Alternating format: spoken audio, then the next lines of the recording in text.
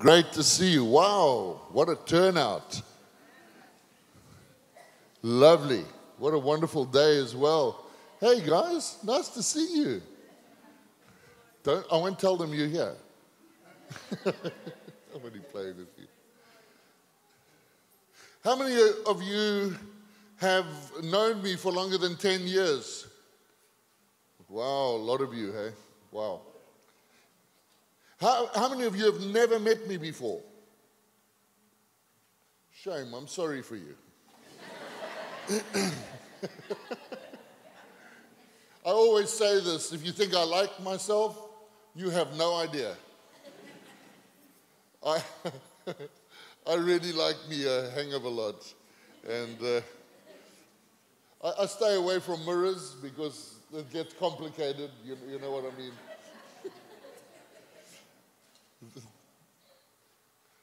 I love telling jokes. And uh, each service so far I've told is one really good joke. Um, that means you've got to laugh a lot. You, understand, right? Don't embarrass me now. a little girl in the, in the class is uh, telling the teacher that um, Jonah was swallowed by a whale. And the teacher says that is an absolute impossibility.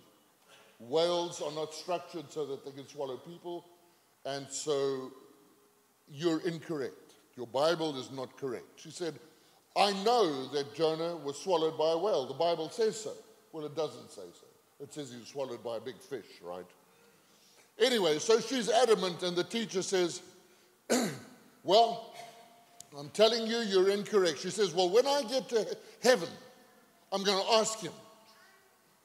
And she says, So what if he goes to hell? She says, Well, then you ask him.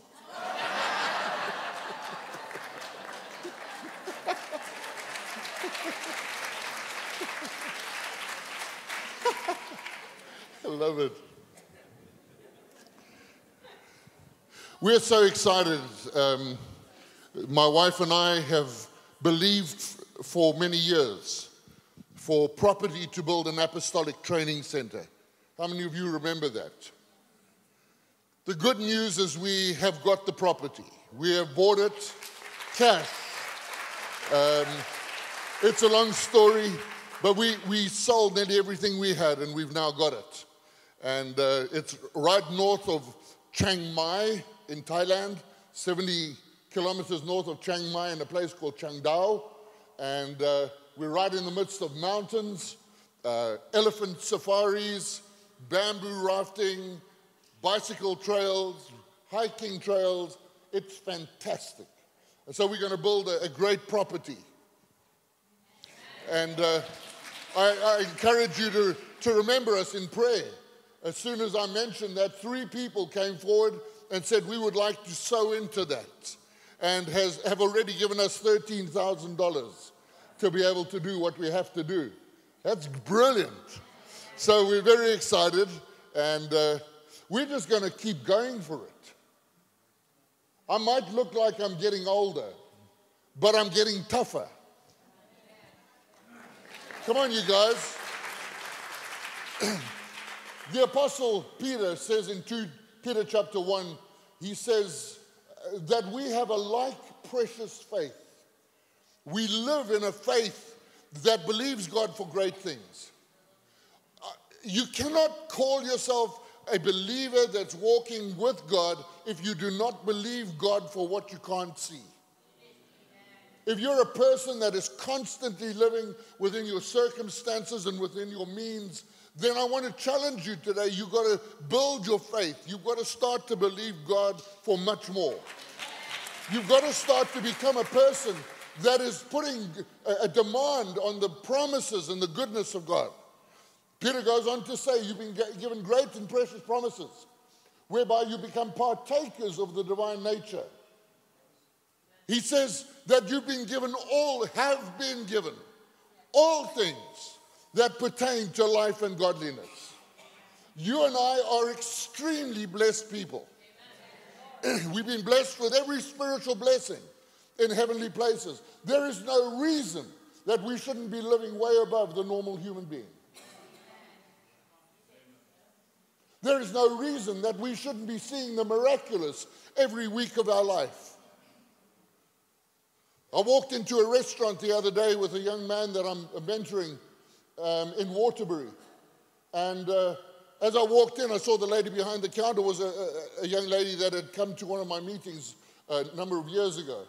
And so, sort of just, hello, how are you? And as I looked at her, the Lord said, You need to bring her the word, the, the word of the Lord. And so, uh, when she came with our, our food and put it on our table, I brought the word of the Lord to her.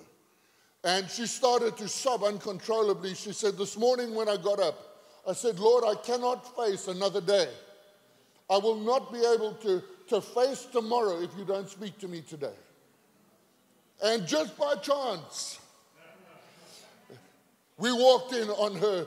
And because we live in the realm of the miraculous, we're always looking for God to access us and use us as an extension of His ministry, right? That's how we should live every single day. We should live in a realm of faith. We should believing, be believing God for what we have not got. If you've settled down in your faith, I'm challenging you. Catch, catch a wake up. Speed up. Because when Jesus returns, there's, there's one statement he makes. He says, When the Son of Man returns, will he find what on earth? Faith. He's going to be looking for those who have faith. When the world points a finger at you and say you're going to go down, everything's going to collapse around you. You point a finger back and you say, I can do all things through Christ. That strengthens me. So Peter talks and he says, uh, in verse 5, he says, You need to add to your faith a list of things. Faith is great. But, but to have an ongoing, he says, you, to be a person, if you add these things to your faith, you will never stumble. If you add these things to your faith, God is going to grant you such an incredible entrance into his everlasting kingdom. It's you and I adding to our faith, not just walking in faith, but making sure that there's wings to our faith, that we live in a way that is uh, supernatural, outstanding, and everyone can see we're not like everybody else. So he says the first thing that you've got to add to your faith is virtue. Virtue means moral excellence. This world today, I don't know about you, but when I was young, uh, it was embarrassing to see anything on television that was to do with nakedness or sexuality. How many of you remember those days? Well, those days are gone. Today, if it hasn't got it, we're irritated. You can't sell anything unless there's a, a naked body on there. There's become such pressure for us to live in an immoral world and count it as normal. There's such pressure on young men, specifically, to be able to walk a pure life. I don't judge young guys that are struggling with pornography. I help them. I don't judge them. This world puts such pressure on you. I went to boarding school. I know what I'm talking about. And so we need to understand that, that God's standards, ladies and gentlemen, is that we add to our faith moral excellence, outstanding uh, behavior with the opposite sex. Uh, one of the pastors I know, one of the pastors I know, uh, gave me a big hug the other day. We were saying goodbye to each other, and he hit me four times on the back. And I said, "What's that all about?" He says, "I am not gay."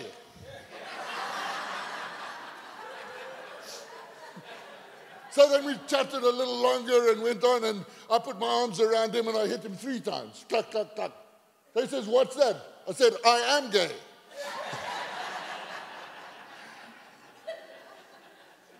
I'm a lot bigger than him, so he got a little nervous. We laugh, but, but really we live in a world where we need to put on in our behavior a, a purity that is, is undeniable. That a woman should never feel nervous with us. You understand? There's, there should be no sexual pressure, no flirting, no double standards with our tongues.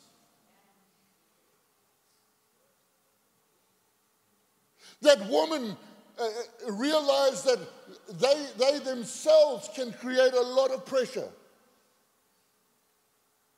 I learned years ago that a spirit of lust is a spirit that makes you want to, to, to engage with a member of the opposite sex. So when you feel pulled towards a person and can't get them off your mind, it's probably a spirit of lust that's operating on you and it's on them and it's drawing you. Do, you. do you understand what I'm saying? We need to make sure those things are never on us. We should never fantasize. We should never long after uh, uh, uh, being beyond our own home. Your wife and your husband should be all you need. Somebody say amen. I'm a bit worried. Nobody's saying amen. it's not funny to play games uh, outside when you're traveling. You shouldn't live two lives. My wife sends me off almost 10 months of the year. She says, Jenny, I trust you. Praise God. and she adds, and remember, Jesus will show me if you play games. and she's right, I know.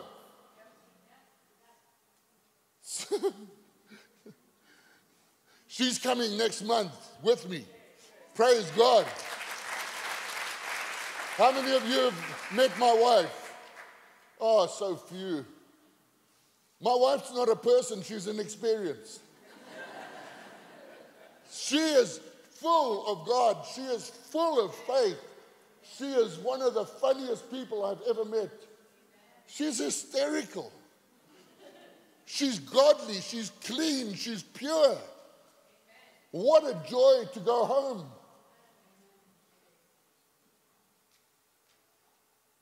Moral excellence. I ask you a question, honestly. What are you like privately?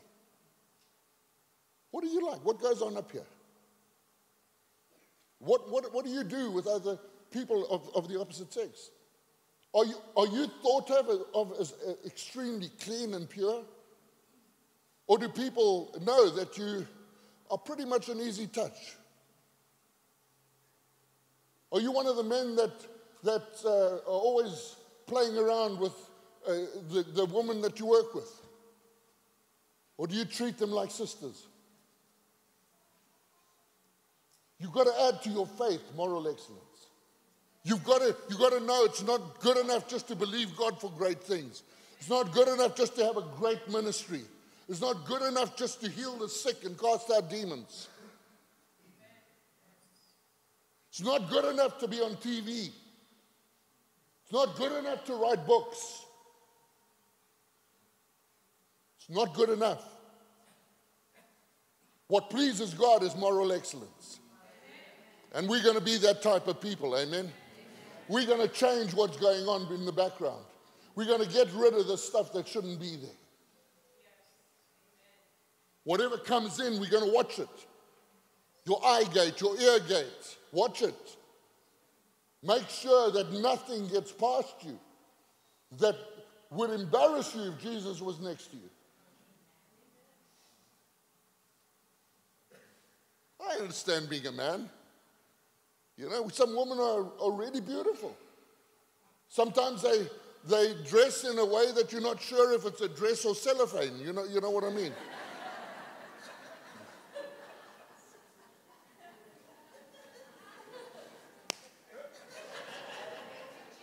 Straighten yourself out, boy.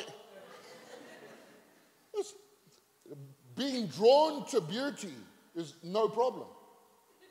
But fantasizing locking in, having yourself uh, uh, um, connected to that is what we don't want in, in, the, in the kingdom. We've got to be able to walk in a way that causes our home to have the blessing of God on it. and we're not embarrassed. The second thing that I love in this portion of scripture from verse 5 of 2 Peter chapter 1.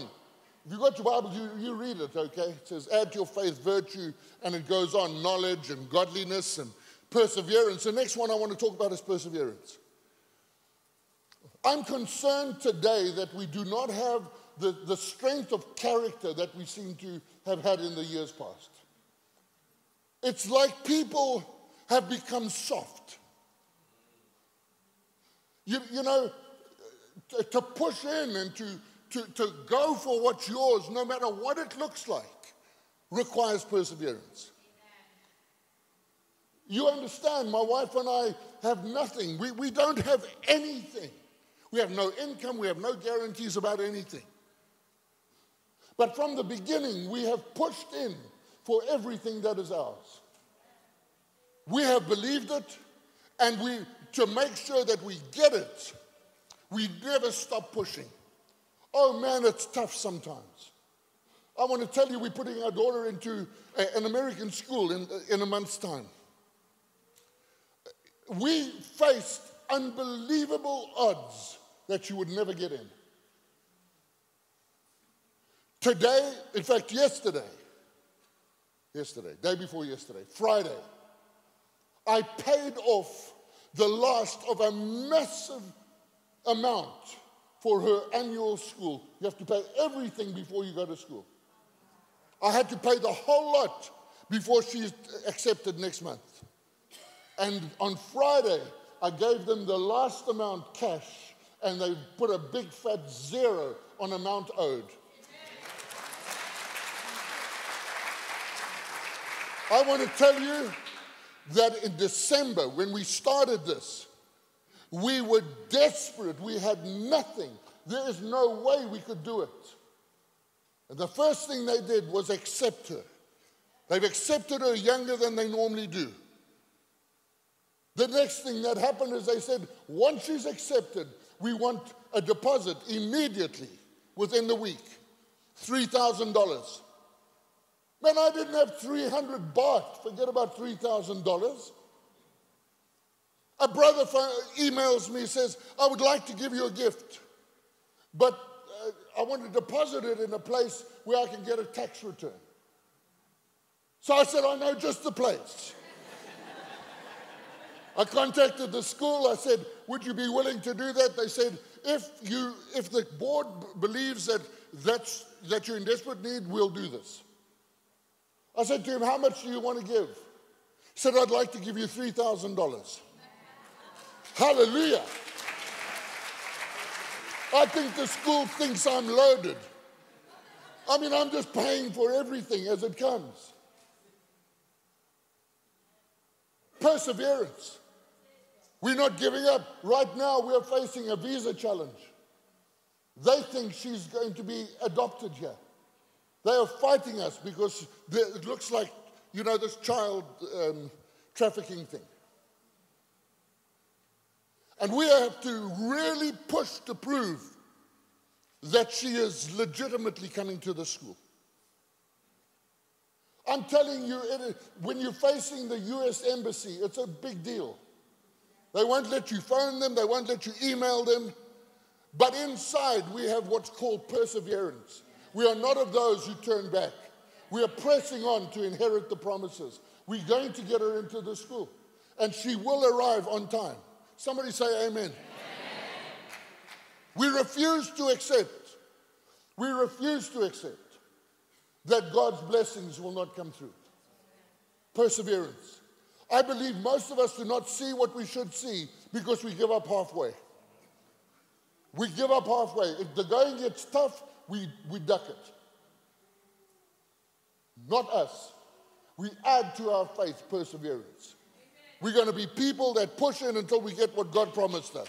We are not going to stop until our kids become what we said they would become. We're not going to stop until our marriages become what we said they're going to become. We're not going to stop until we get a financial breakthrough that gets us through. I'm amazed at the one guy who looked for a loan. He went to 19 banks before he got his loan. That's perseverance. Most of us give up after the second one. There's a way we should never accept no from the blessings of God. We should believe God will bless us. The kingdom of heaven suffers violence, but it is the violent that take it by force. Amen. We've got to get tough, guys. I wish I could get young men to come and train with me. I would, I would love to start like a, a, a military training camp for young men. Scare the living daylights out of them. Get them to a place where they, they get character, they get guts. Not sit on a flippin' little phone all day.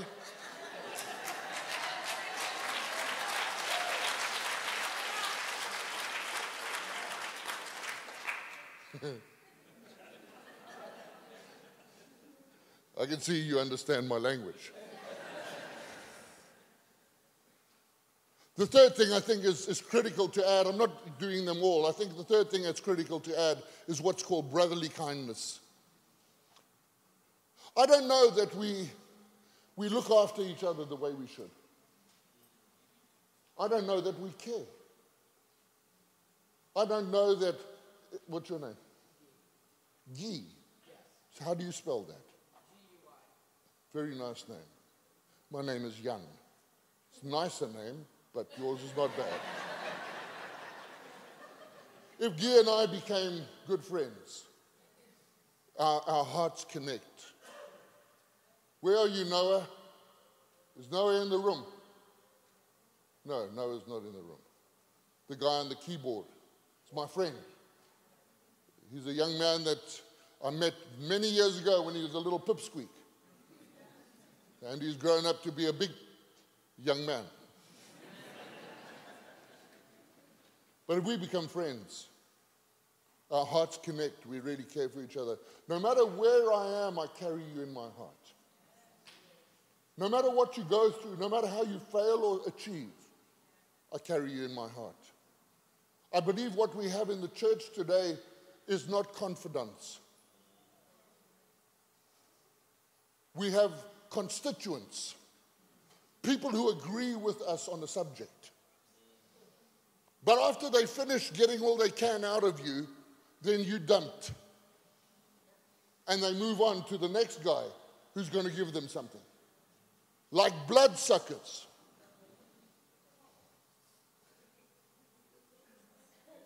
You know, sometimes we get too big and we forget who we connected to. I've made it a commitment in my life from the very beginning of my ministry that I do not forget my friends. If I say I'm your friend, I, I, whenever I see you, you will not get the feeling that I'm distant from you. I don't become a big deal. Right, Brian? I don't become a big deal and forget that this couple helped me in my darkest hour. I don't forget that.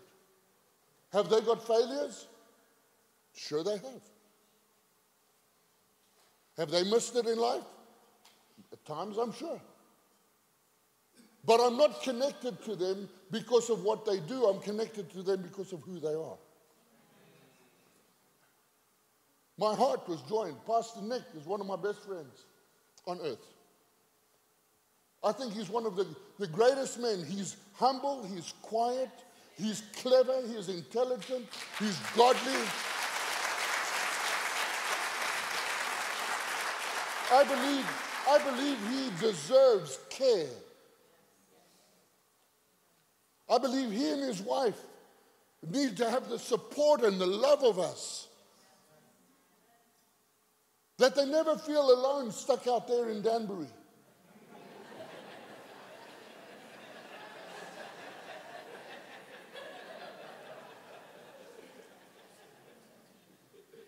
You understand what I'm saying?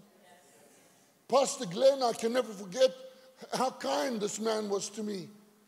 I can never ever turn my back on Pastor Glenn because he's my friend.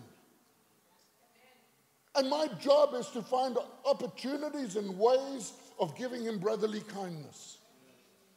You know what I mean? To, to when I see you. Uh, give me a hand, Deborah. When I see you, my heart jumps. And I, I say, Clifford, it's always been a pleasure. Louise, it's always been a pleasure. I really mean that. What a lovely family. They've got great kids. Yeah, they come and, and, and, and listen to that. I hope it's because they saw I was preaching. Otherwise, I'll be hurt. I know, I know. But I'll never forget. I'll never forget the first day I walked into your church and how you walked up to me and made me feel like a million dollars. I'll never forget that. I'll never forget how you ran around me. I thought this woman never stops. Here's some water, here's this, here's that. Do you need anything else? It's like, wow. Loved him from the beginning. So many of you in this room, my heart is connected to you. Iris, it's wonderful to see you guys. You're precious people. I wish I lived here. I'd come and eat your food.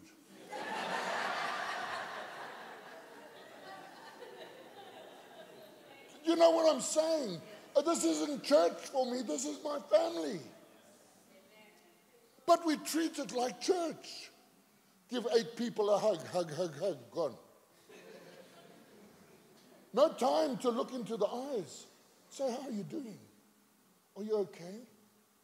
Is everything going okay for you? Is, is, there, anything I can do? Lord, when I wake up on Monday morning, Lord, I just felt moved by my sister and my brother, and I, am just going to email them and just let them know I care. Hmm? Or are we so professional as Christians that we, we just know how to do the stuff? Is it plastic or is it real? Hmm?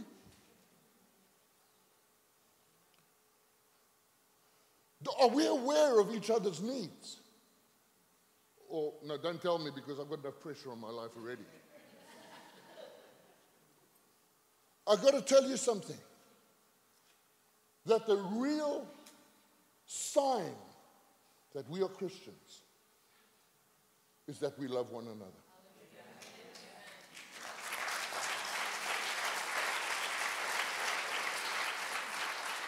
Not that I say, how are you? Nice to meet you. Let's forget that. I'm talking about love. I've been around a long time. Pastors all over the world love me while I'm bringing them what they need. As soon, out of sight, out of mind. You wouldn't even think they ever knew me. I'm not bitter. Just want to knock their heads off their shoulders.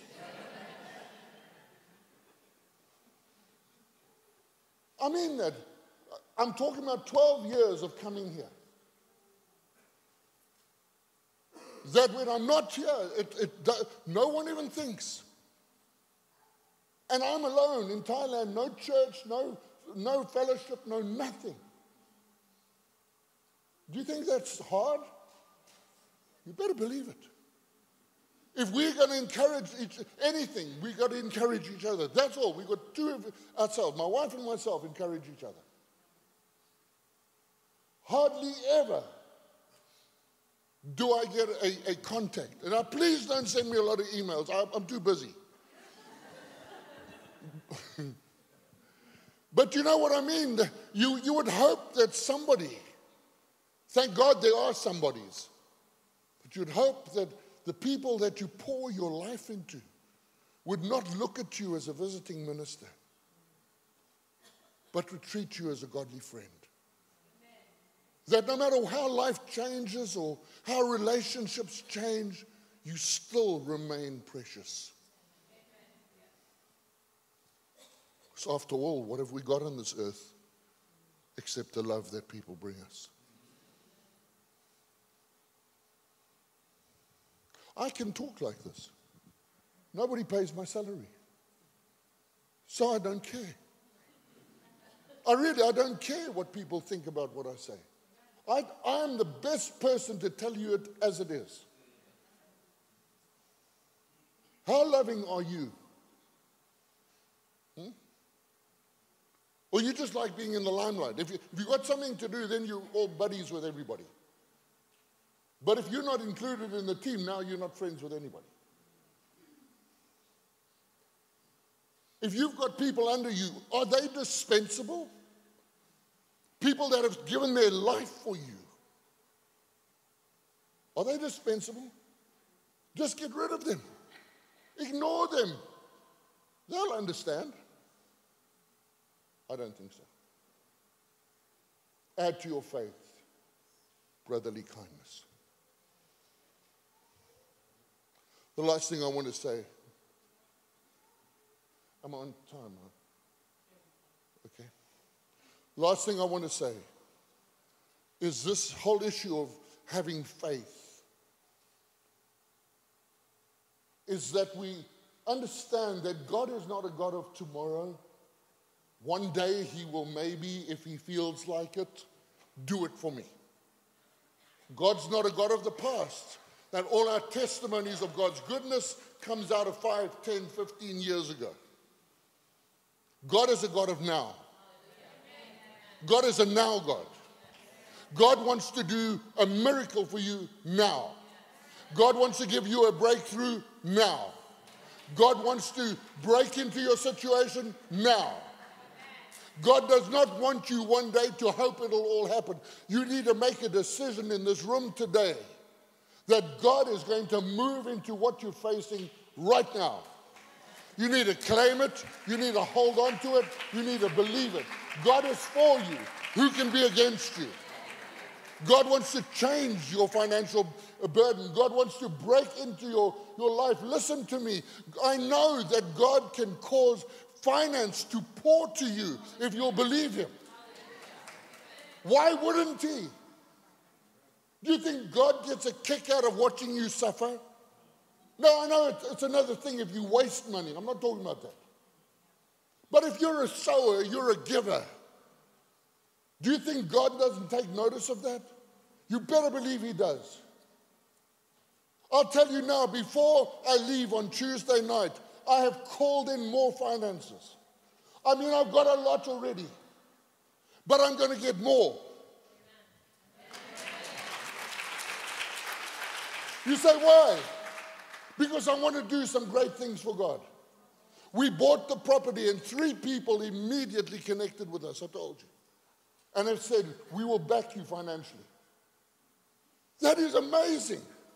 I've already been given $13,000 to start building. It's not a hang of a lot, but I'm on my way. He's a now God. He's a now God. I'm not waiting until I get back to uh, Thailand for God to do something, He's going to do it now. Do you understand? That's how we need to walk. That's how we need to think. You need to be aggressive in your faith. You need to go for the big things. You need to believe God's going to stand by you. You do, do not live like you've always lived. Take it to the next level. Believe God for your marriage. Believe God for your kids. Believe God for your finances. Believe God for your business. I believe that God blesses us. He's already blessed us. But if we will receive it, He will change our businesses now. If we will receive it, He will change our marriage now. I want to bless you before I go. I want you to receive something from me. I have the authority to bless you based on Genesis chapter 12. Who I blessed will be blessed.